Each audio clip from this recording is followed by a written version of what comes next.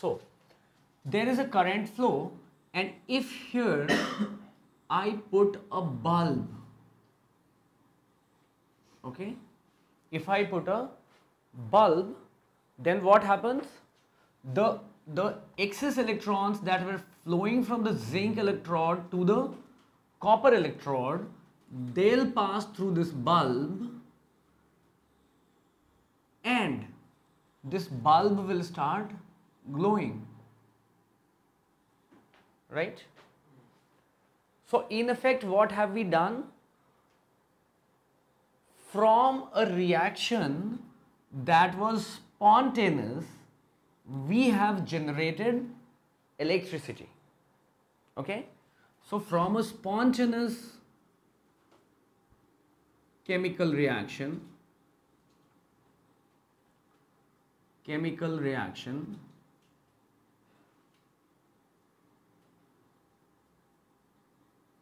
we have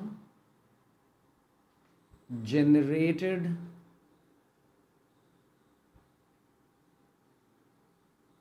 electricity right we have generated electricity okay and what will happen after some time if you look at the electrodes, what do you expect to see? What do you expect to see? The zinc ions. So, so zinc, zinc atom has left two electrons and it is jumping into the solution. Okay, so it is only leaving electrons. So in effect, the atom is getting out from this electrode, right? it is the whole atom minus the two electrons, right? So it is depositing the electrons on the leaving behind the electrons on the electrode, jumping back into the solution. Here, what is happening? The Cu2 plus, which is an ion, which is nothing but but but but uh, copper without two electrons, okay, devoid of two electrons, that is jumping from the solution onto the copper electrode. So what happens after some times if you see the, the zinc electrode, if it was say something like this, you'll find the electrode is getting corroded. Okay, so zinc, zinc electrode gets corroded over a period of time, over a period of time. Okay? If you look at the copper electrode you'll find that you'll find it is it is gaining in weight so the copper electron,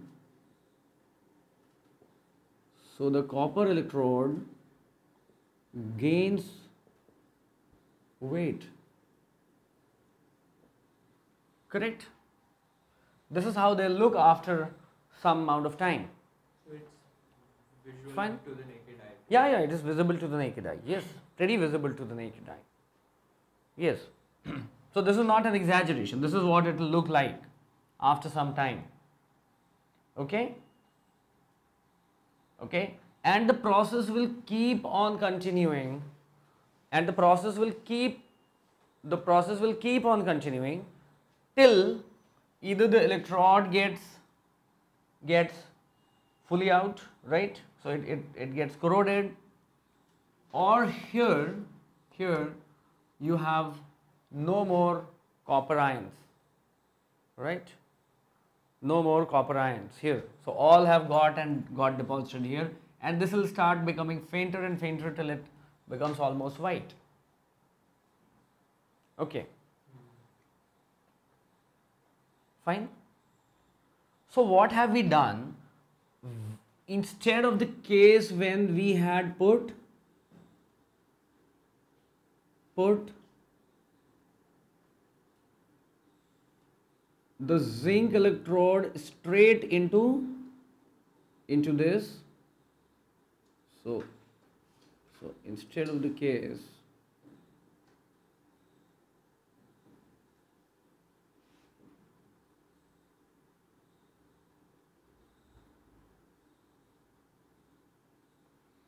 when we had put the zinc electrode straight into the copper sulfate, this was copper sulfate, this was the zinc electrode, and we had seen that there was what had happened?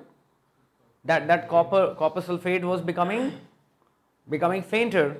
Okay, so zinc was actually forcefully forcefully transferring the the electrons and jumping into the into the solution.